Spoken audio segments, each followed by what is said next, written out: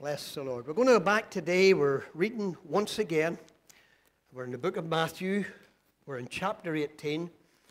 And we're just going to think once again, for the last time, uh, about those same verses that we've been looking at over this last week or two.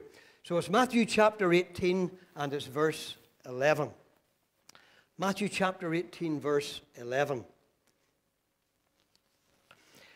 For the Son of Man is come to save that which was lost.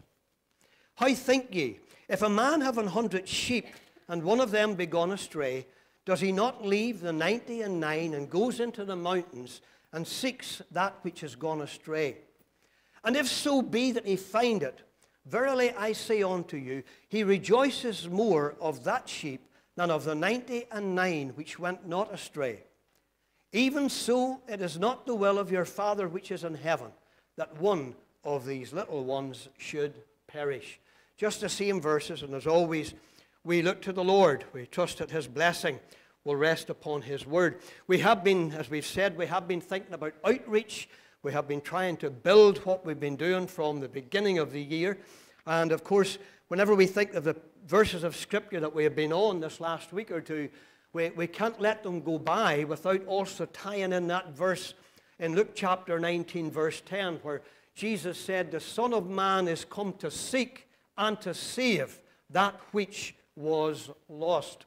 Now, you may remember over this last couple of weeks, we looked at the importance of one to God.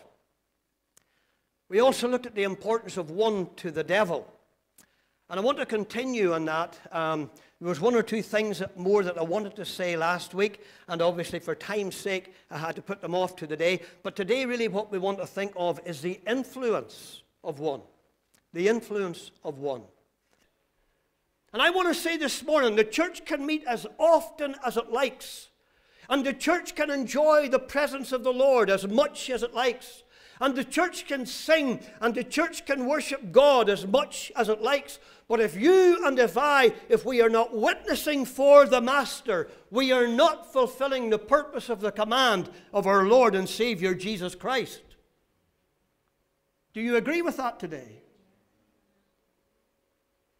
The very last thing that Jesus said to those disciples before he was taken into glory he says, was go into the world and preach the gospel to every creature. And he said, wait for the promise of the Father. You will be endued with power from on high. The Holy Spirit shall come upon you, and you will be witnesses unto me. Your purpose and mine is to witness for the Lord Jesus Christ. But I wonder sometimes do we really take the Great Commission seriously. I wonder, do we? I want to tell you how important it is for those who claim to know the Lord to get our priorities right and to get our vision right according to God's holy word and according to God's holy laws. How many sins, we touched on this last Sunday, how many sins did James say would be hidden Whenever a wanderer is restored, was it a few? No, that verse at the end of James' epistle, chapter 5, verse 20, said it was a multitude of sins that would be covered. And the lesson for you and for me, surely, is to go after the one from the very time that that person somehow gets trapped and that person somehow seems to go astray. You see, the time to go after the backslider, the time to go after the person who doesn't know the Lord, folks, listen to me, is not to plan something for 2020 or not to plan something for 2019. The time to go after that person is now. Because this is the only time that you and I are sure of. This is the only time. And yet we plan and we wonder should we do this? Should we try that? And we put it off and we put it off and we put it off. And maybe you're living beside somebody and you've never spoken to them about Jesus. Bible says the fear of man brings a snare. We were just looking at that in the Bible study last Monday night, developing the roots of Christian character.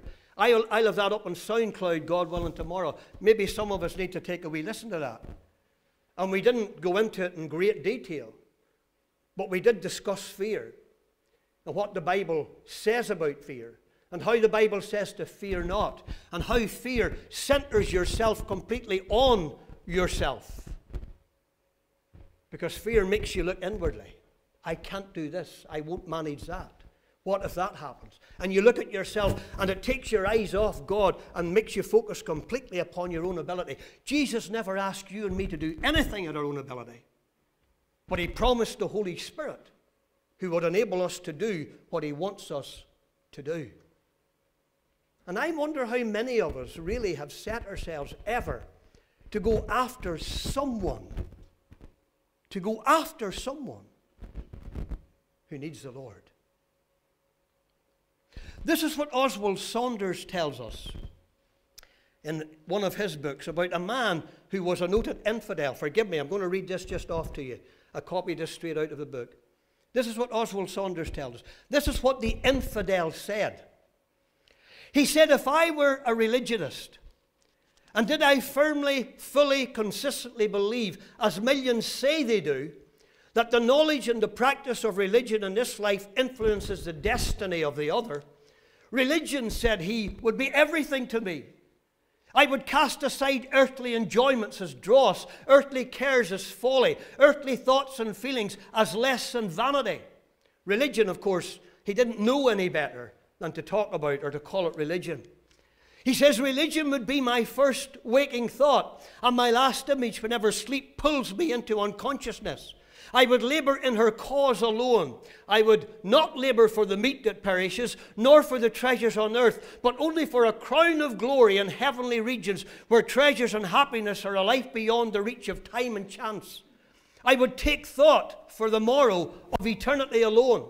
I would esteem one soul gained to heaven worth a life of suffering.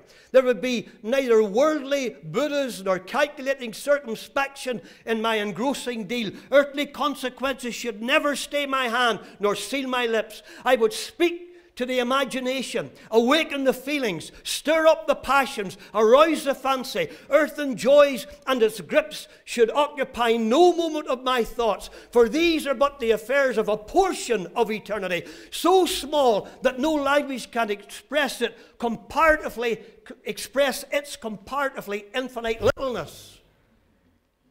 But we live for this life. And it's so insignificant compared to the vastness of eternity. He said, I would strive to look on eternity and on immortal souls around me, soon to be everlastingly miserable or everlastingly happy. I would deem all who thought only of this world, merely seeking to increase temporal happiness and laboring to obtain temporal goods, I would deem all pure madness. And I would go forth to the world and preach to it in season and out of season. And my text would be, What shall it profit a man if he gain the whole world and lose his own soul? And, folks, those are the words of an infidel. I wonder how many of us would express sentiments like that, and we're called the people of God.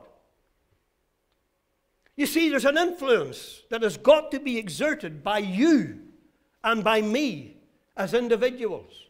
And unless you and I are expressing that influence individually, the church has no hope of expressing that influence. Because the church, dear ones, is you. And the church is me. Amen. And the church, the life in the church, depends completely upon the life in the individual how well that life's walking with Christ, how well that life's seeking to obey the Lord, how well that Christ's seeking to live for Him. Didn't the gifts of the Spirit exhort us this morning to rise and praise the King who died for you and me? How many of us did that?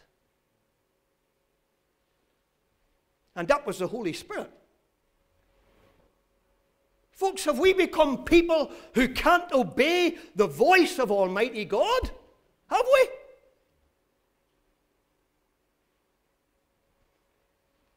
I wonder how many of us have taken up the Great Commission. And I'm not talking about overseas missions, praise God for that. I'd be quite honest with you, that was never my thing.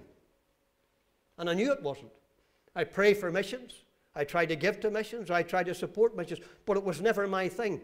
But I always knew there was a mission field right around the area where I lived or wherever I was involved at in life.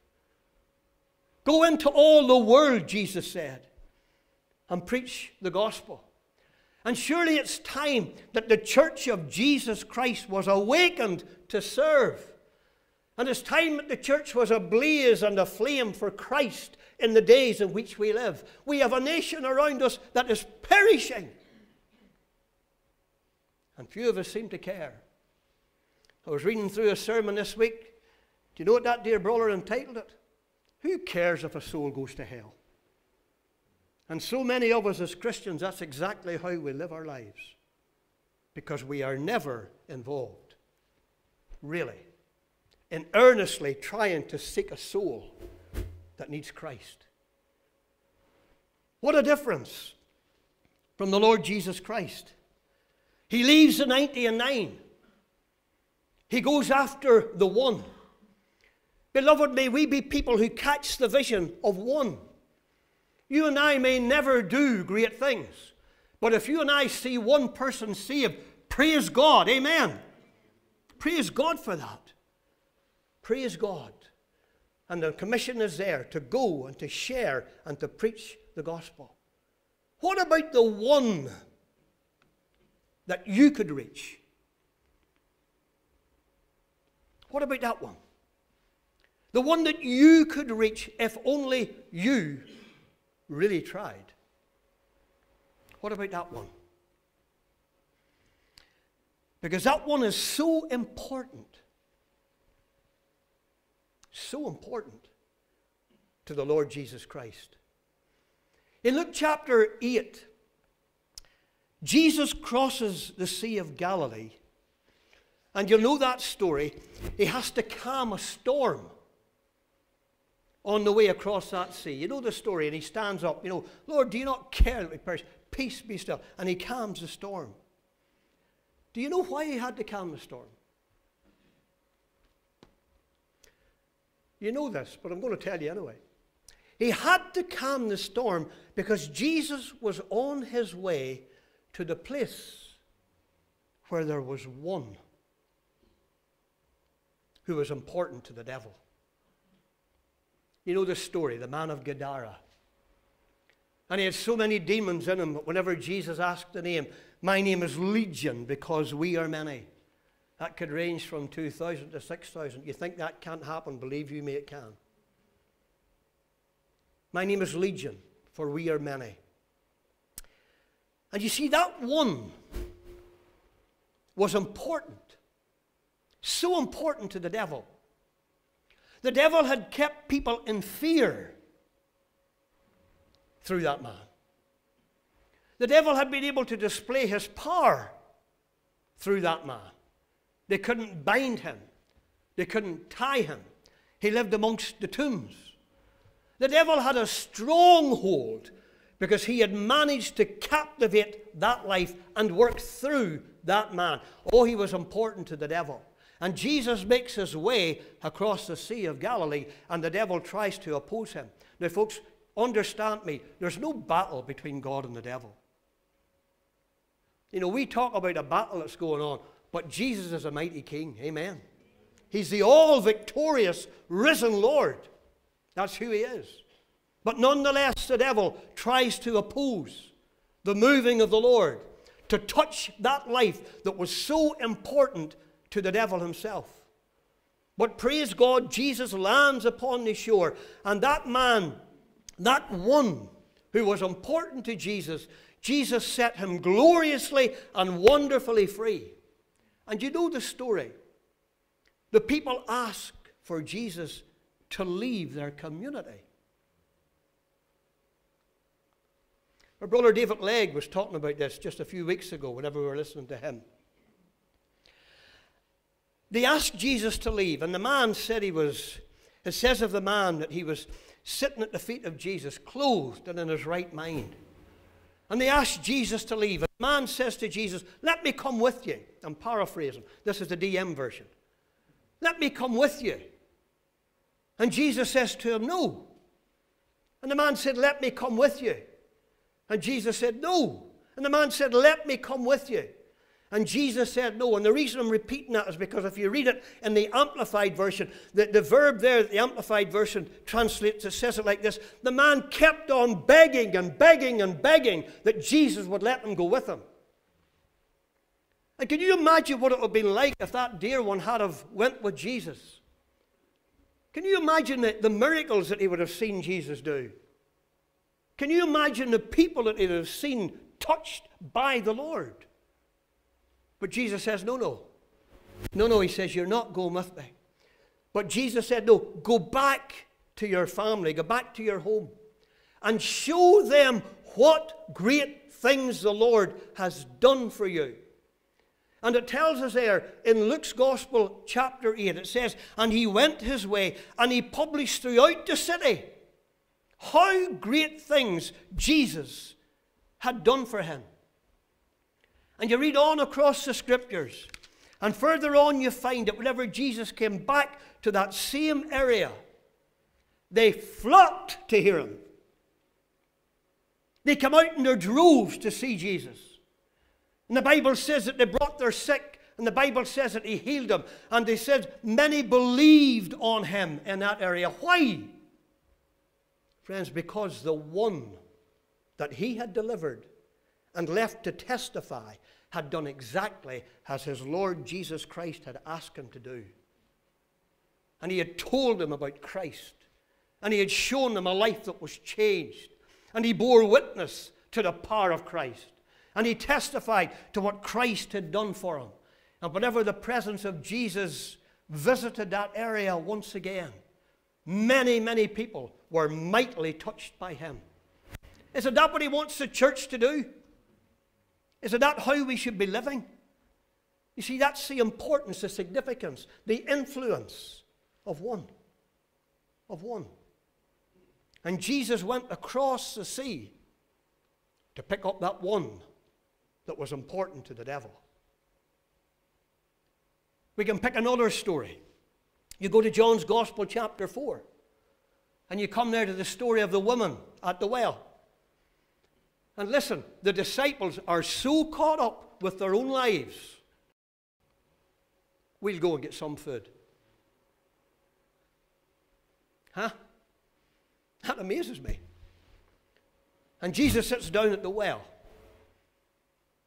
But they go to get food. All they're interested in is their own stomach, their own well being, their own needs.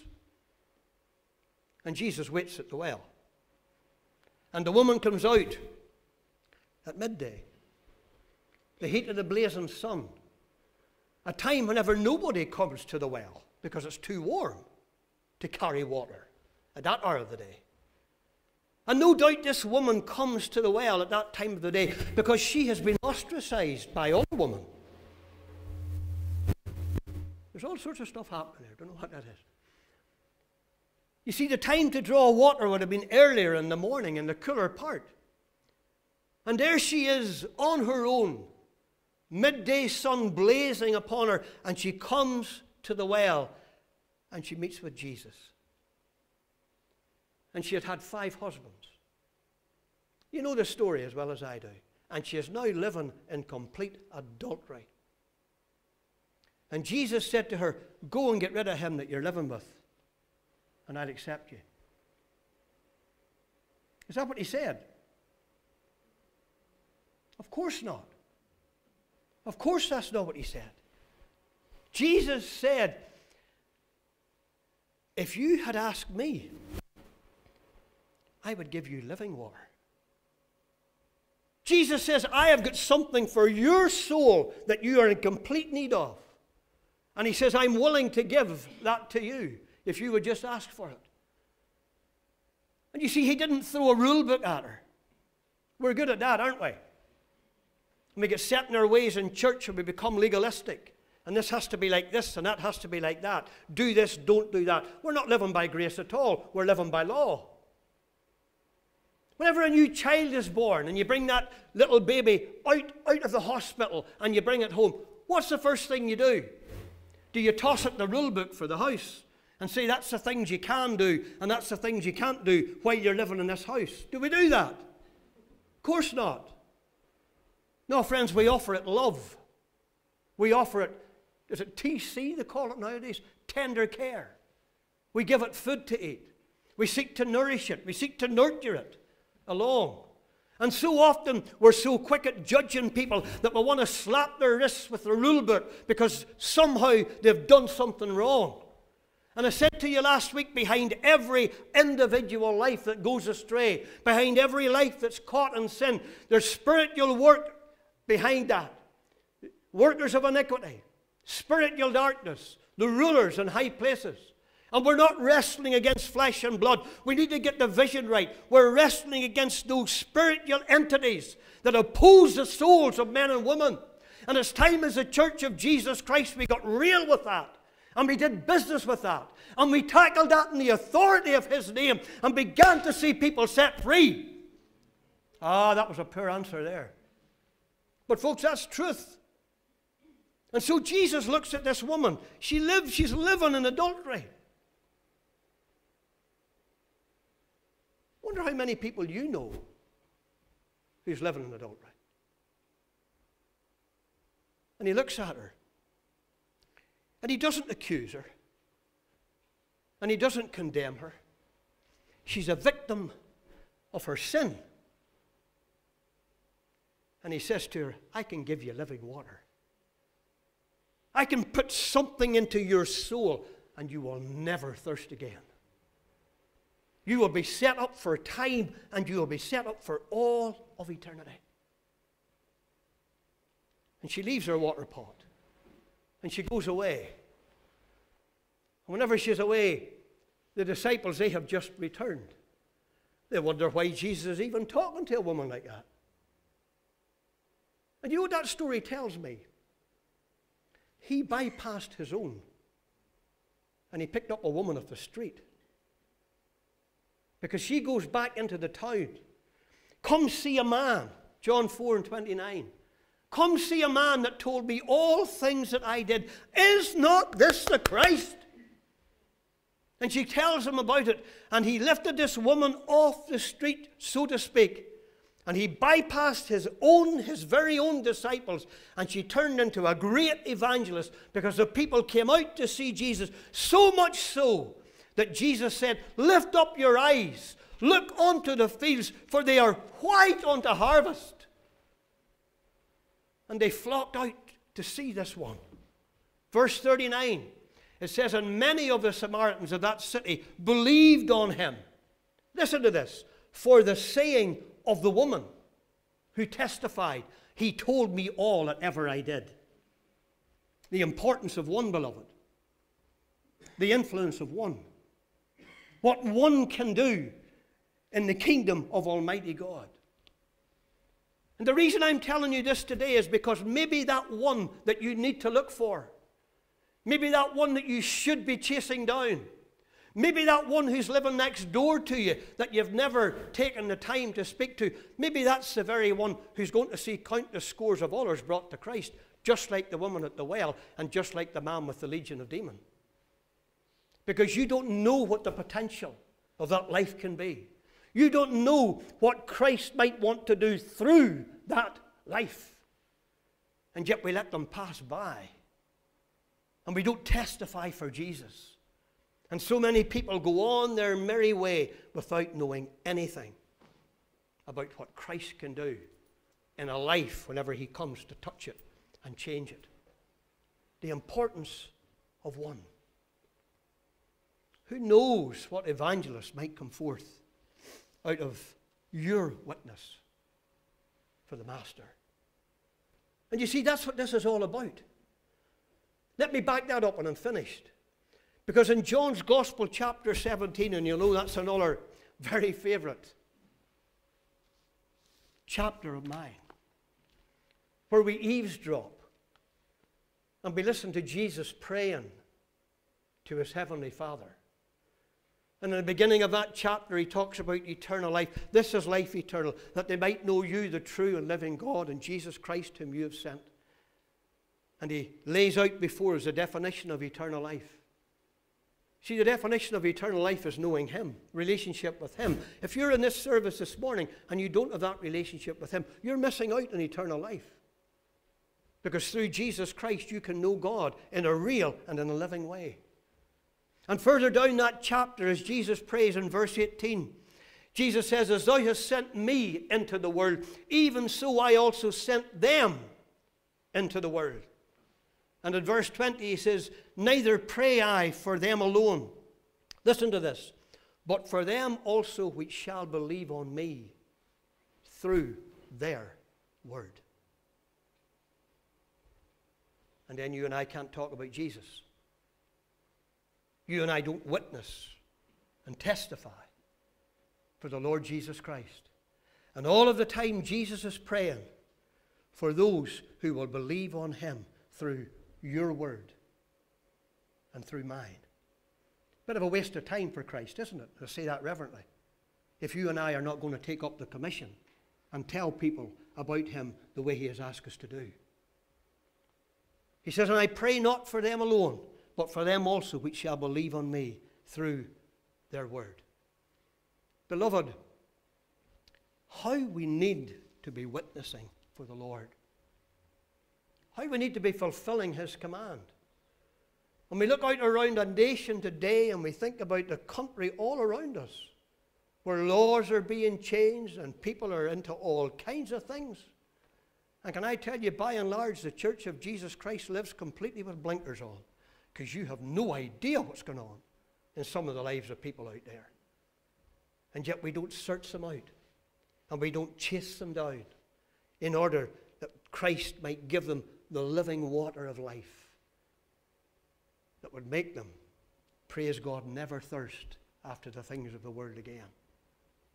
We need to be busy for the Lord Jesus Christ, reaching, touching, yes, look, one at a time. One at a time. I said to you the first week we thought on this, you, the night you were saved, Jesus saved you, dear one, as an individual. Whether you were in the company of other people who got saved or whether you weren't, nevertheless, He did business with you, an individual, because you're important to Him. And He saved you because you're important to Him. And He needs you because you're important to Him.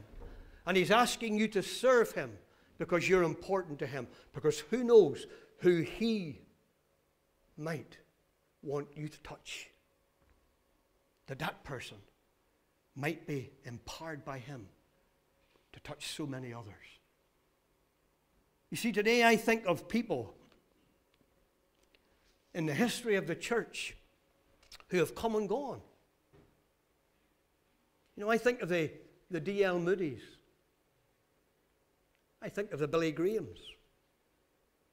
I think of the different people down through the ages, Sankey, all of those people.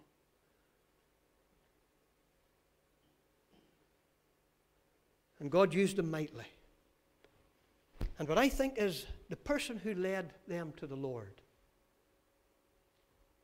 I wonder did that person ever know that Billy Graham was going to become what he would be?